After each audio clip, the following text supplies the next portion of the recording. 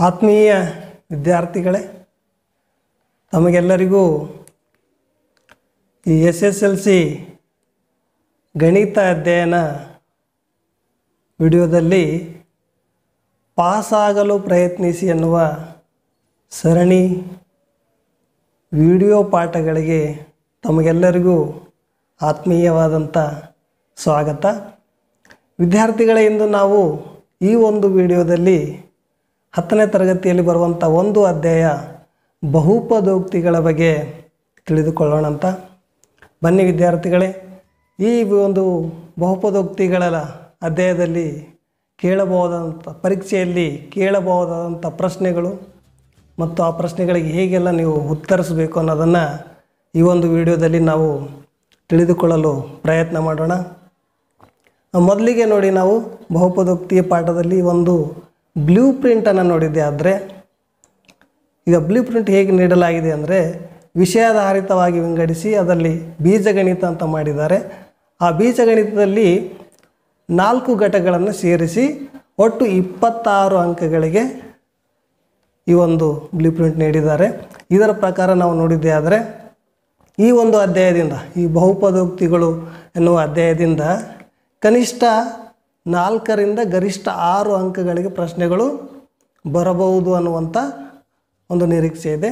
ಇದರಲ್ಲಿ ಒಂದು ಅಂಕದ ಎರಡು ಪ್ರಶ್ನೆ ಮತ್ತು ಎರಡು ಅಂಕದ ಎರಡು ಪ್ರಶ್ನೆಗಳು ಪರೀಕ್ಷೆಯಲ್ಲಿ ಕೇಳಬಹುದು ಅಂತ ಒಂದು ಅಂದಾಜು.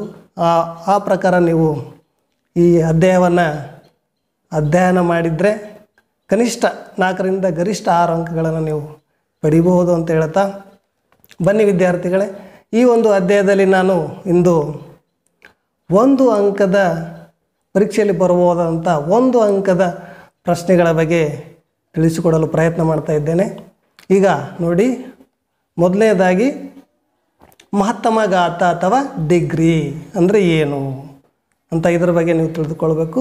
ಇಲ್ಲಿ ಪಿ ಆಫ್ ಎಕ್ಸ್ ಎಂಬುದು ಎಕ್ಸ್ ಎಂಬ ಚರಾಕ್ಷರ ಉಳ್ಳ ಒಂದು ಬಹುಪದೋಕ್ತಿ ಆದರೆ ಪಿ ಆಫ್ ಎಕ್ಸ್ದಲ್ಲಿನ ಎಕ್ಸ್ದ ಗರಿಷ್ಠ ಘಾತ ಸೂಚಿಯನ್ನು ಆ ಬಹುಪದೋಕ್ತಿ ಪಿ ಆಫ್ ಎಕ್ಸ್ದ ಮಹತ್ತಮ ಘಾತ ಅಥವಾ ಡಿಗ್ರಿ ಎನ್ನುತ್ತಾರೆ ಎನ್ನುವಂಥ ಅರ್ಥ ಇದಕ್ಕಿದೆ. ಅಥವಾ ಇದು ಇನ್ನನ್ನು ನೀವು ಸಂಕ್ಷಿಪ್ತಗೊಳಿಸಿದರೆ ಏನಂತ ಹೇಳ್ಬೋದು, ಒಂದು ಬಹುಪದೋಕ್ತಿಯಲ್ಲಿನ ಚರಾಕ್ಷರದ ಗರಿಷ್ಠ ಘಾತವನ್ನು ಅದರ ಮಹತ್ತಮ ಘಾತ ಎಂದು ಕರೆಯುತ್ತಾರೆ.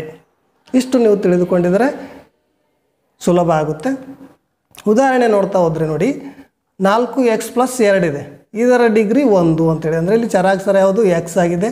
ಅದರ ಘಾತ ಒಂದು. ಹಾಗಾಗಿ ಅದರ ಡಿಗ್ರಿ ಒಂದಾಗಿದೆ ಇನ್ನೊಂದು ಉದಾಹರಣೆ ನೋಡಿದರೆ ನೀವು ಎರಡು ಎಕ್ಸ್ ಘಾತ ಎರಡು ಮೈನಸ್ ಮೂರು ಎಕ್ಸ್ ಪ್ಲಸ್ ನಾಲ್ಕು. ಇದರ ಡಿಗ್ರಿ ಎಷ್ಟು? ಎರಡಾಗಿದೆ ಏಕೆ? ಇಲ್ಲಿ ಚರಾಕ್ಷರ ಎಕ್ಸ್ ಇದೆ, ಮತ್ತು ಇದರ ಘಾತ ಎರಡು. ಗರಿಷ್ಠ ಘಾತ ಅಂದರೆ ಹೆಚ್ಚಿನ ಘಾತ ಎರಡಿದೆ. ಹಾಗಾಗಿ ಇದರ ಡಿಗ್ರಿ ಎರಡು ಅಂತ ಹೇಳ್ತೀರಿ. ಈಗ ಮುಂದುವರೆದ್ರಿ. ಐದು ಎಕ್ಸ್ ಘಾತ ಮೂರು ಮೈನಸ್ ನಾಲ್ಕು ಎಕ್ಸ್ ಘಾತ ಎರಡು ಪ್ಲಸ್ ಎಕ್ಸು ಮೈನಸ್ ಎರಡು. ಇದರ ಡಿಗ್ರಿ ಎಷ್ಟು? ಮೂರು. ಯಾಕೆಂದರೆ ಇಲ್ಲಿ ಚರಾಕ್ಷರ ಎಕ್ಸ್ ಇದೆ. ಅದರ ಹೆಚ್ಚಿನ ಘಾತ ಮೂರು ಆಗಿದ್ದರಿಂದ ಇದರ ಡಿಗ್ರಿ ಮೂರು ಅಂತ ನೀವು ಸುಲಭವಾಗಿ ಇದನ್ನು ಹೇಳ್ಬೋದು. ವಿದ್ಯಾರ್ಥಿಗಳೇ ನೋಡಿ ಮುಂದುವರೆದ್ರೆ ಮತ್ತು ಮಹತ್ತಮ ಘಾತ ಅಥವಾ ಡಿಗ್ರಿಯನ್ನು ಕಂಡುಹಿಡಿಯಿರಿ ಅಂತ ಪ್ರಶ್ನೆಗಳು ಪರೀಕ್ಷೆಯಲ್ಲಿ ಕೇಳ್ತಾರೆ. ಒಂದು ಅಂಕಕ್ಕೆ ಹೇಗೆ ರೀತಿ ಪ್ರಶ್ನೆ ಬರ್ಬೋದು ನೋಡಿದರೆ ಉದಾಹರಣೆ ನೋಡಿ. P of x equal to two x ಘಾತ ಎರಡು ಮೈನಸ್ ಎಕ್ಸ್ ಘಾತ ಮೂರು ಪ್ಲಸ್ ಐದು. ಬಹುಪದೋಕ್ತಿಯ ಮಹತ್ತಮ ಘಾತ ಅಥವಾ ಡಿಗ್ರಿ ಬರೆಯಿರಿ ಅಂತ ಪ್ರಶ್ನೆ ಬರುತ್ತೆ. ಇದಕ್ಕೆ ಉತ್ತರ ನೀವು ಸುಲಭವಾಗಿ ಬರೀಬೋದು ವಿದ್ಯಾರ್ಥಿಗಳೇ. ಕಲಿಕೆಯಲ್ಲಿ ಹಿಂದುಳಿದ ವಿದ್ಯಾರ್ಥಿಗಳಿಗೆ ಇದು ಒಂದು ಅಂಕದ ಪ್ರಶ್ನೆ ಭಾಳ ಸುಲಭವಾಗಿ ಅರ್ಥ ಆಗುತ್ತೆ.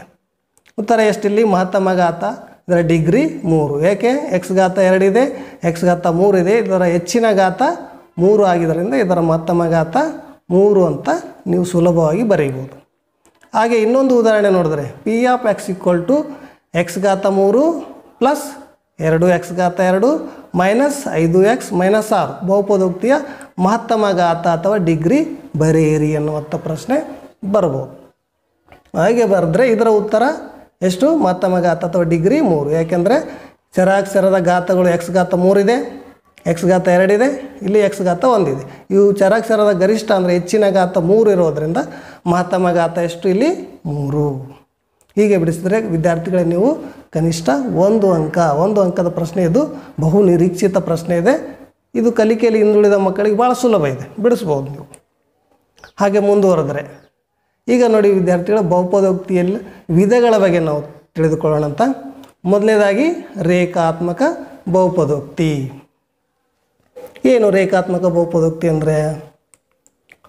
ಇದರ ಸಾಮಾನ್ಯ ರೂಪ ಎ ಎಕ್ಸ್ ಪ್ಲಸ್ ಬಿ ನಲ್ಲಿ ಎ ಸೊನ್ನೆಗೆ ಸಮನಾಗಿಲ್ಲ. ಇದು ಗೊತ್ತಿರಬೇಕು ನಿಮಗೆ. ಇದರ ಡಿಗ್ರಿ ಡಿಗ್ರಿ ಒಂದು ಆಗಿರುವಂಥ ಬಹುಪದೋಕ್ತಿಗೆ ನಾವು ರೇಖಾತ್ಮಕ ಬಹುಪದೋಕ್ತಿ ಅಂತ ಕರಿತೀವಿ. ಸೊ ಮುಂದುವರೆದ್ರೆ ಮತ್ತೆ ವರ್ಗ ಬಹುಪದೋಕ್ತಿ ಅಥವಾ ವರ್ಗಾತ್ಮಕ ಬಹುಪದೋಕ್ತಿ ಅಂತ ನೀವು ಕರಿಬೋದು. ಇದರ ಸಾಮಾನ್ಯ ರೂಪ ಏನು? A x square plus b x plus c. ಇಲ್ಲಿ ಎ ಸೊನ್ನೆಗೆ ಸಮನಾಗಿರೋದಿಲ್ಲ. ಇದರ ಡಿಗ್ರಿ ಡಿಗ್ರಿ ಎರಡು ಆಗಿರುವ ಬಹುಪದೋಕ್ತಿಗೆ ನಾವು ವರ್ಗ ಬಹುಪದೋಕ್ತಿ ಅಂತ ಕರಿತೀವಿ. ಹಾಗೆ ಮುಂದುವರೆದ್ರೆ ಘನ ಬಹುಪದೋಕ್ತಿ ಅಂತ ಬರುತ್ತೆ. ಇಲ್ಲಿ ಘನ ಬಹುಪದೋಕ್ತಿ ಅಂದ್ರೇನು ಇದರ ಸಾಮಾನ್ಯ ರೂಪ ಎ ಎಕ್ಸ್ ಘಾತ ಮೂರು ಪ್ಲಸ್ ಬಿ ಎಕ್ಸ್ ಘಾತ ಎರಡು plus c x plus d. ಇನ್ನಲ್ಲಿ a ಸೊನ್ನೆಗೆ ಸಮನಾಗಿರೋದಿಲ್ಲ. ಮತ್ತು ಡಿಗ್ರಿ ಮೂರು ಆಗಿರುವಂಥ ಬಹುಪದೋಕ್ತಿಗೆ ನಾವು ಘನ ಬಹುಪದೋಕ್ತಿ ಅಂತ ಕರಿತೀವಿ. ಈ ಮೂರು ಬಹುಪದೋಕ್ತಿಗಳ ಬಗ್ಗೆ ನೀವು ಸರಳವಾಗಿ ತಿಳಿದುಕೊಂಡಿರ್ರಿ. ಹಾಗೆ ಮುಂದುವರೆದ್ರೆ ನೋಡಿ ವಿದ್ಯಾರ್ಥಿಗಳೇ, ಮತ್ತೆ ಬಹುಪದೋಕ್ತಿಯ ಶೂನ್ಯತೆಗಳು ಅಂತ ಬರುತ್ತೆ. ಬಹುಪದೋಕ್ತಿಯ ಶೂನ್ಯತೆ ಅಂದರೆ ಏನು? ಇಲ್ಲಿ ಬಹುಪದೋಕ್ತಿ ಪಿ ಆಫ್ ಎಕ್ಸ್ನಲ್ಲಿ ಕೆ ಯು ಒಂದು ವಾಸ್ತವಿಕ ಸಂಖ್ಯೆಯಾಗಿದ್ದು P of k equal to ಸೊನ್ನೆ ಆದರೆ ಸೊನ್ನೆ ಆದರೆ ಕೆಯನ್ನು ಬಹುಪದೋಕ್ತಿ ಪಿ ಆಫ್ ಎಕ್ಸ್ನ ಶೂನ್ಯತೆ ಎನ್ನುತ್ತಾರೆ ಎನ್ನುವಂಥ ಅರ್ಥ ಇದೆ. ಈಗ ನೋಡಿ ಮುಂದುವರೆದ್ರೆ ಒಂದು ರೇಖಾತ್ಮಕ ಬಹುಪದೋಕ್ತಿಗೆ ಗರಿಷ್ಠ ಒಂದು ಶೂನ್ಯತೆ ಇರ್ತದೆ. ಹಾಗೆ ಒಂದು ವರ್ಗ ಬಹುಪದೋಕ್ತಿ ಗರಿಷ್ಠ ಎರಡು ಶೂನ್ಯತೆಗಳಿರ್ತಾವೆ. ಅಂದರೆ ವರ್ಗ ಬಹುಪದೋಕ್ತಿಯ ಡಿಗ್ರಿ ಎರಡು ಇರೋದರಿಂದ ಅದಕ್ಕೆ ಎರಡು ಶೂನ್ಯತೆಗಳಿದ್ದಾವೆ ಅಂತ ಹೇಳ್ತೀರಿ. ಹಾಗೆ ಘನ ಬಹುಪದೋಕ್ತಿಯ ಶೂನ್ಯತೆಗಳು ಎಷ್ಟಿರ್ಬೋದು ಮೂರು ಇರ್ಬೋದು. ಯಾಕೆ? ಅದರ ಗರಿಷ್ಠ ಘಾತ ಮೂರು. ಅದರ ಡಿಗ್ರಿ ಮೂರು, ಹಾಗಾಗಿ ಮೂರು ಶೂನ್ಯತೆಗಳು ಇರುತ್ತವೆ. ಸೊ ಹೀಗೆ ನೀವು ಆನ್ಸರ್ ಮಾಡ್ತಾ ಹೋಗ್ಬೋದು ಅಂತ ಹೇಳ್ತಾ, ಈಗ ಮುಂದುವರೆದ್ರೆ ಮತ್ತೆ ಬಹುಪದೋಕ್ತಿಯ ಶೂನ್ಯತೆ ಕಂಡುಹಿಡಿಯುವುದು. ಈ ಪ್ರಶ್ನೆಗಳು ನಿಮಗೆ ಕೇಳಬಹುದು. ಉದಾಹರಣೆ ನೋಡಿ ವಿದ್ಯಾರ್ಥಿಗಳೇ. ಒಂದನೇ ಉದಾಹರಣೆ P of x equal to x ಘಾತ ಎರಡು ಮೈನಸ್ ಮೂರು ಬಹುಪದೋಕ್ತಿಯ ಶೂನ್ಯತೆಗಳನ್ನು ಕಂಡುಹಿಡಿಯಿರಿ ಅಂತ ಹೇಳ್ತಾರೆ. ಹೀಗೆ ಕೊಟ್ಟಾಗ, ಈ ರೀತಿ ಕೊಟ್ಟಾಗ ನೀವು, ಇದು ಒಂದು ವರ್ಗ ಬಹುಪದೋಕ್ತಿ ಇದೆ. ಭಾಳ ಸುಲಭವಾಗಿ ನೀವು ಇದನ್ನು ಬಿಡಿಸ್ಬೋದು ಪರಿಹಾರ ನೋಡಿ ಹೇಗೆ ಬಿಡಿಸ್ತೀರಂತ. ಎಕ್ಸ್ ಘಾತ ಎರಡು ಮೈನಸ್ ಮೂರು ಈಕ್ವಲ್ ಟು ಇದು ಸೊನ್ನೆ ಅಂತ ಬರ್ಕೊಳ್ತೀರ. ಬರ್ಕೊಂಡಾದ್ಮೇಲೆ ಏನು ಮಾಡಿರಿ? ಎಕ್ಸ್ ಘಾತ ಎರಡು ಈಕ್ವಲ್ ಟು ಮೂರು. ಅಂದರೆ ಎಡಭಾಗದಲ್ಲಿರುವಂಥ ಮೂರು ಮೈನಸ್ ಮೂರನ್ನು ನಾವು ಬಲಭಾಗ ತೆಗೆದುಕೊಂಡು ಬಂದರೆ ಅದರ ಚಿಹ್ನೆ ಬದಲಾಗಿ ಪ್ಲಸ್ ಮೂರು ಆಗುತ್ತೆ. ನಾವು ಶೂನ್ಯತೆ ಅಂದರೆ ಎಕ್ಸ್ನ ಬೆಲೆ ಕಂಡುಹಿಡಿತೀವಲ್ವ? ಎಕ್ಸ್ನ ಬೆಲೆ ಕಂಡುಹಿಡಿಬೇಕಾದ್ರೆ x equal to plus r minus ಆ ಸ್ಕ್ವೇರ್ ತೆಗೆದ್ರೆ ಇದಕ್ಕೆ ರೂಟ್ ಆಗ್ತಾರೆ ಸ್ಕ್ವೇರ್ ರೂಟ್ ಮೂರು ಆಗುತ್ತೆ. ಈಗ ಎಕ್ಸ್ನ ಬೆಲೆ ಆದ್ದರಿಂದ ಎಕ್ಸ್ನ ಬೆಲೆ ಪ್ಲಸ್ ಮೂರು ಮತ್ತು ಎಕ್ಸ್ ಈಕ್ವಲ್ ಟು ಮೈನಸ್ ಮೂರು. ಒಂದು ಪ್ಲಸ್ ರೂಟ್ ಮೂರು ಮತ್ತು ಮೈನಸ್ ರೂಟ್ ಮೂರು. ಇದರ ಶೂನ್ಯತೆಗಳು ಅಂತ ನೀವು ಹೇಳಬಹುದು. ಈ ಈ ಲೆಕ್ಕವನ್ನು ಇನ್ನೂ ಸೂತ್ರವನ್ನು ಸಹ ಬಳಸಿ ನೀವು ಬಿಡಿಸ್ಬೋ ಬಿಡಿಸ್ಬೋದು. ಯಾವುದು ಸೂತ್ರ ಅಂದರೆ a square minus b square ಆ ಸೂತ್ರ ಬಳಸ್ಕೊಂಡು ಸಹ ನೀವು ಶೂನ್ಯತೆಯನ್ನು ಕಂಡುಹಿಡ್ಬೋದು. ಇದು ಸುಲಭವಾಗಿ ಇದೆ. ಭಾಳ ಸುಲಭವಾಗಿ ಅರ್ಥ ಆಗುತ್ತೆ. ಈ ರೀತಿ ಕೇಳಿದ್ರೆ ನೀವು ಸರಳವಾಗಿ ಬಿಡಿಸಿದರೆ ಒಂದು ಅಂಕ ನಿಮಗೆ ಸಿಗುತ್ತೆ. ಮುಂದುವರೆದರೆ ಮತ್ತೆ. ಉದಾಹರಣೆ ನೋಡಿ ಇಲ್ಲಿ ಒಂದು. P of x equal to x square minus x plus k ಬಹುಪದೋಕ್ತಿ ಒಂದು ಶೂನ್ಯತೆಯು ಎರಡು ಆದಾಗ ಕೆನ ಬೆಲೆಯನ್ನು ಕಂಡುಹಿಡಿಯಿರಿ ಅಂತ ಪ್ರಶ್ನೆ ಬರ್ಬೋದು ಈ ರೀತಿ ಬಂದಾಗ ಸ್- ಮೊದಲು ಲೆಕ್ಕ ಬಿಡಿಸಿದಂತೆಯೇ ನಾವು ಅದನ್ನು ನಾವು ಪರಿಹಾರ ಅಂತ ಬರ್ಕೊಂಡು ಅದಕ್ಕೆ X square minus X plus K equal to ಸೊನ್ನೆಗೆ ಸಮ ಮಾಡ್ಕೋತೀರಿ. ಇಲ್ಲಿ ಎಕ್ಸ್ನ ಬೆಲೆ ಒಂದು ಕೊಟ್ಟಿದ್ದಾರೆ. ಒಂದು ಶೂನ್ಯತೆ ಕೊಟ್ಟಿರೋದ್ರೆ ಎಕ್ಸ್ ಈಕ್ವಲ್ ಟು ನಾವು ಎರಡು ಅಂತ ಬೆಲೆ ಆದೇಶ ಮಾಡಿದರೆ ಎಕ್ಸ್ ಇದ್ದಲ್ಲಿ ಎರಡು ಘಾತ ಎರಡು ಮೈನಸ್ ಎಕ್ಸ್ ಇದ್ದಲ್ಲಿ ಎರಡು plus k equal to zero ಬರ್ಕೋತೀರ. ಈಗ ಎಕ್ಸ್ನ ವರ್ಗ ನಾಲ್ಕು ಸಾರಿ ಎರಡರ ವರ್ಗ ನಾಲ್ಕು ಮೈನಸ್ ಎರಡು ಪ್ಲಸ್ ಕೆ ಈಕ್ವಲ್ ಟು ಸೊನ್ನೆ. ನಾಲ್ಕರಲ್ಲಿ ಎರಡನ್ನು ನೀವು ಕಳೆದ್ರೆ ಎರಡು ಬರುತ್ತೆ. ಪ್ಲಸ್ ಕೆ ಈಕ್ವಲ್ ಟು ಸೊನ್ನೆ. ಈ ಕೆ ಬೆಲೆ ಕಂಡುಹಿಡಿಬೇಕಾಗಿದೆಯಲ್ಲ ಎಡಭಾಗದಲ್ಲಿರುವಂಥ ಎರಡನ್ನು ಬಲಭಾಗ ತೆಗೆದುಕೊಂಡು ಬಂದರೆ ಅದರ ಚಿಹ್ನೆಯಲ್ಲಿ ಬದಲಾಗಿ ಅದು ಪ್ಲಸ್ ಟು ಇದ್ದಿದ್ದು ಮೈನಸ್ ಟು ಆಗಿ ಬದಲಾಗುತ್ತೆ. ಅಂದರೆ ಕೆ ಬೆಲೆ ಮೈನಸ್ ಟು ಅದರಿಂದ ಕೆ ಮೈನಸ್ ಟು ಅಂತ ನೀವು ಬಿಡಿಸಿದರೆ ನಿಮಗೆ ಕನಿಷ್ಠ ಒಂದು ಅಂಕ ಈ ಅಧ್ಯಾಯ, ಈ ಒಂದು ಸಮಸ್ಯೆಯಿಂದ ಪಡಿಬಹುದು ಅಂತ ಹೇಳ್ತಾ. ವಿದ್ಯಾರ್ಥಿಗಳೇ, ಮುಂದೆ ನೋಡಿದ್ರೆ ಬಹುಪದೋಕ್ತಿಯ ಶೂನ್ಯತೆಗಳ ರೇಖಾಗಣಿತೀಯ ಅರ್ಥ ಅಂತ ಪ್ರಶ್ನೆ ಇದೆ. ರೇಖಾಗಣಿತೀಯ ಅರ್ಥ ಅಂದರೆ ಒಂದು ನಕ್ಷೆಯನ್ನು ಕೊಟ್ಟು ನಿಮಗೆ ಅದರ ಶೂನ್ಯತೆಗಳನ್ನು ಕೇಳ್ತಾರೆ. ಅದು ಆ ಪ್ರಶ್ನೆ ನೋಡಿ, ರೇಖಾಗಣಿತೀಯ ಅರ್ಥ ಅಂದರೆ ಏನು?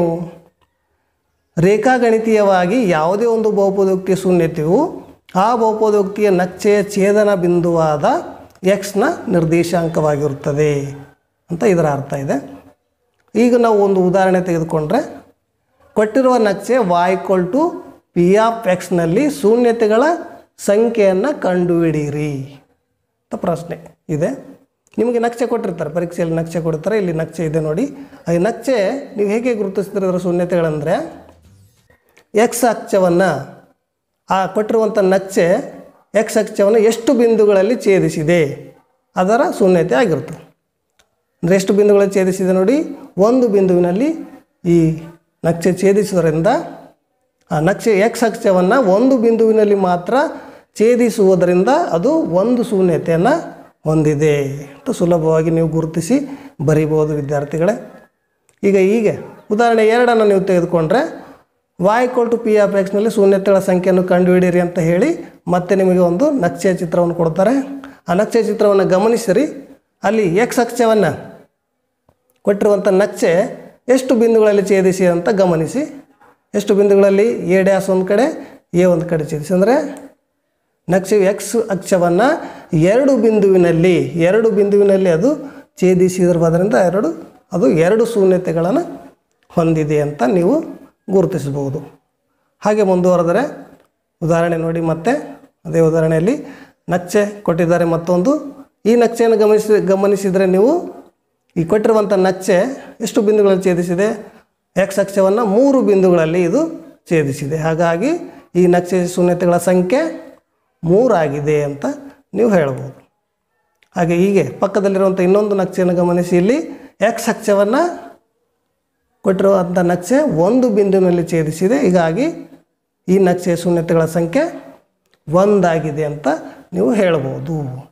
ವಿದ್ಯಾರ್ಥಿಗಳೇ, ನಿಮಗೆ ಇಲ್ಲಿವರೆಗೂ ಬಹುಪದೋಕ್ತಿಗಳಲ್ಲಿ ಬರುವಂಥ ಒಂದು ಅಂಕದ ಪ್ರಶ್ನೆಗಳ ಬಗ್ಗೆ ಚರ್ಚೆ ಮಾಡಿದ್ದೀನಿ. ಇನ್ನೂ ನಿಮಗೆ ಅನೇಕ ಅಧ್ಯಾಯದಲ್ಲಿ ನೀವು ಅನೇಕ ಪ್ರಶ್ನೆಗಳಿಗೆ ಉತ್ತರವನ್ನು ಪಡೆಯಬಹುದು. ಭಾಳ ಸುಲಭವಾಗಿದೆ ಮತ್ತು ಸರಳವಾಗಿದೆ.